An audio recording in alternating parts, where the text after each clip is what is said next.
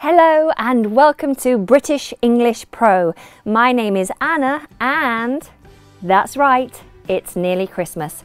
So I thought why not put together a list of words that you may have to use over the festive period. Firstly, let's talk about the word Christmas. In lots of cases where we see C and H together, we would pronounce it ch, like cheese. However, in this word, CH is pronounced K, and we have Christmas. Okay, so we have Christmas tree, Christmas card, Christmas day, Christmas Eve, Christmas dinner, Christmas presents, Christmassy. Sometimes this word is spelt Xmas. Xmas, not Xmas, Xmas. Ding dong, bells, bells. Ooh, a blizzard. Bow, bow, carol, carol singing, carol singing. Silent night, coal, cold, decorate, decorations, snow, snowball, snowman, snowflake, icicle, icy, wintry fire, fireplace, log, Yule log, elf, elves,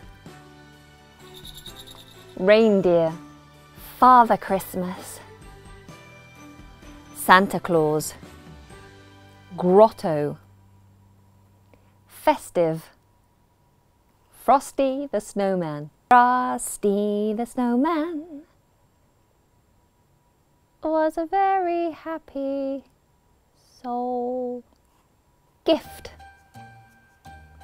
garland, goodwill, season, greeting, holly, ivy, Jack Frost, mistletoe, jingle bells,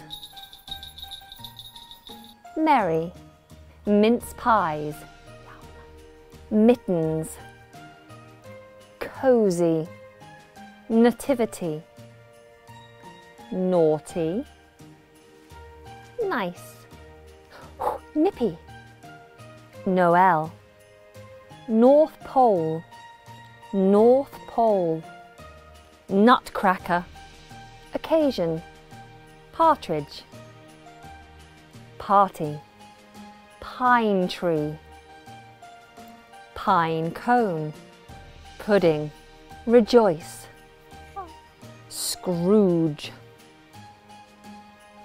bah humbug, skate, sled, sleigh, stocking, sweater, tinsel trimmings, unwrap, wrapping, wreath. That concludes my festive list. If there are any words that I haven't included that you would like to hear, then please place it in the comments box below and I will make every effort to add it to my live word clinic, which happens every week on my Facebook page. So please do visit that. All the links for my social media platforms will be in the description box below. If you're not already a subscriber to this channel, then please, because it's Christmas, just press the big red subscribe button and make me very happy. if I don't see you beforehand, have a wonderful Christmas, lots of love. Mwah,